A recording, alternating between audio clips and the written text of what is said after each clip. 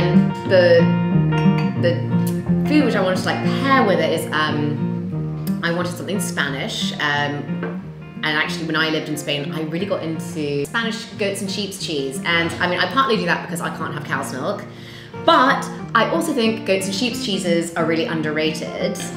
And I also think with a wine like this, which is really bright in acidity, in goats and sheep's cheeses, you have that higher acid, so it naturally goes quite well.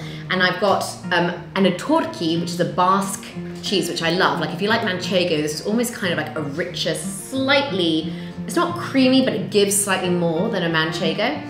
And then this here is a Mulachengo. I, I never tried it before, I must admit, but apparently it's very similar to English Ragstone because I wanted to have something which was like harder and richer with something which was creamy.